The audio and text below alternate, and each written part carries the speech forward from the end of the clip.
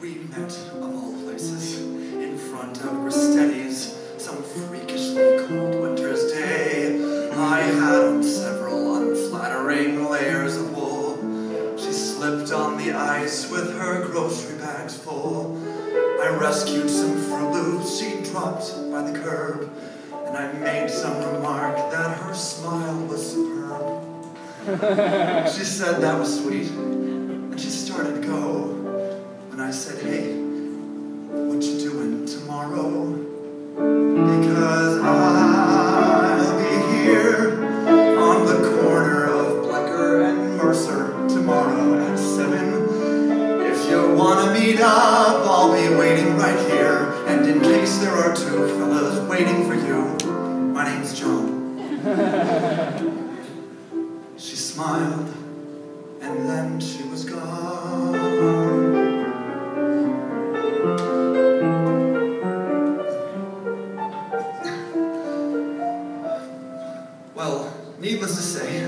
I went back there to meet her, mostly to see if she'd show.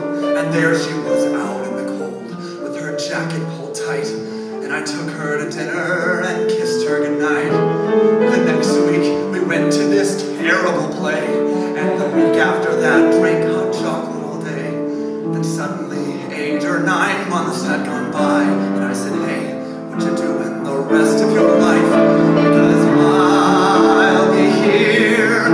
beside you, as long as you want me to be.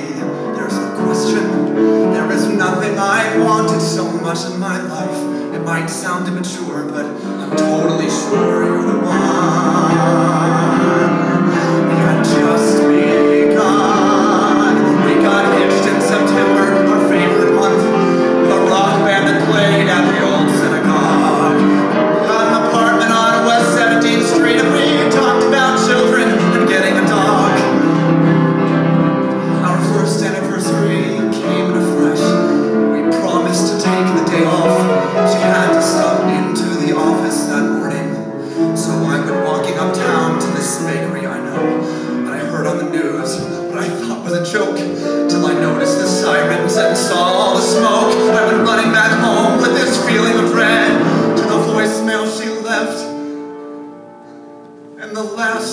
Words she said.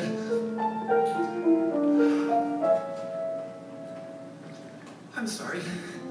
I don't mean to ruin your evening by bringing up all of this stuff. You're probably wondering why I even called you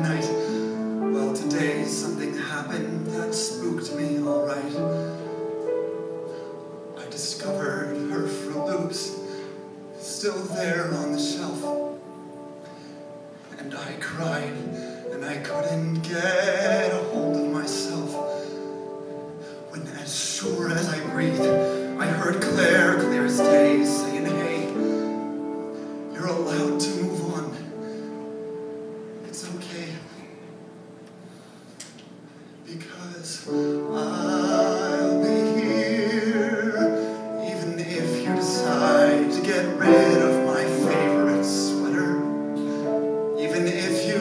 out on my birthday this year, instead of sitting at home and watching all of life's moments pass by,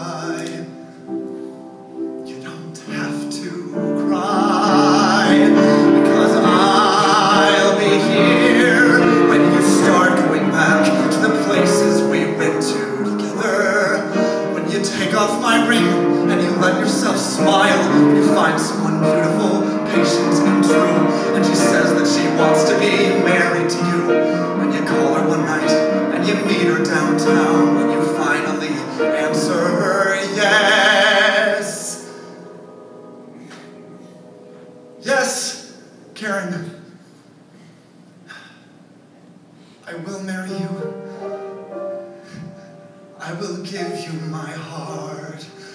It has taken so long, but I'm ready to start. Right now, Claire's whispering congrats in my ear. Cause I finally let myself